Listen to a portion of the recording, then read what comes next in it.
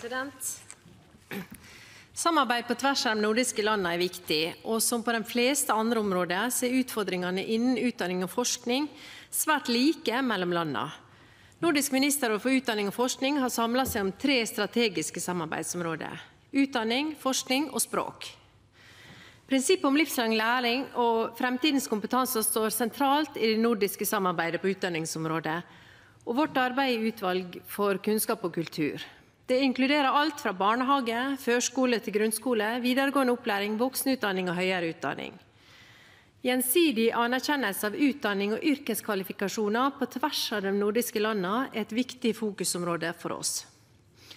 Vi ønsker å samarbeide om digitalisering på utdanningsområdet gjennom utveksling av god praksis for ny pedagogikk, informasjon om utdanningsmuligheter samt stimulering av en mer åpen og fleksibel tilgang til læring i Norden.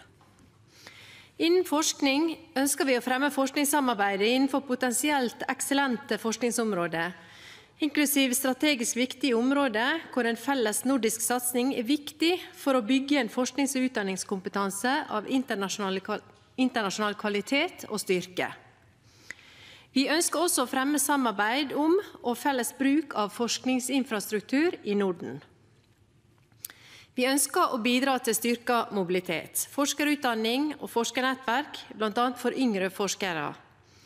Nordplus bidrar med finansiering til nordiske og nordisk-baltiske utviklingsprosjekt, nettverk og mobilitetsaktiviteter.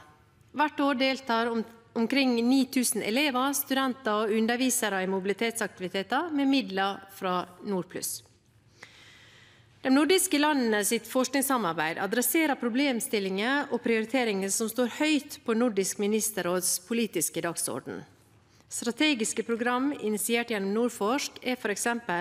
toppforskningsinitiativet innenfor klima, energi og miljø, forskningsprogram innenfor helse og velferd, det er Arktis, samfunnssikkerhet og likestillingsområdet og grønn vekst.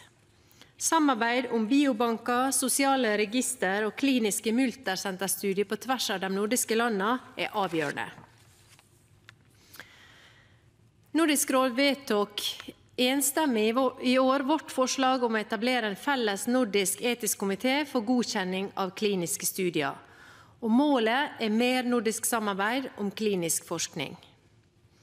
President, Nordisk samarbeid er viktigere enn noensinne, og initiativer som tas opp i Nordisk råd, må følges opp med praktisk politikk i de nordiske landene.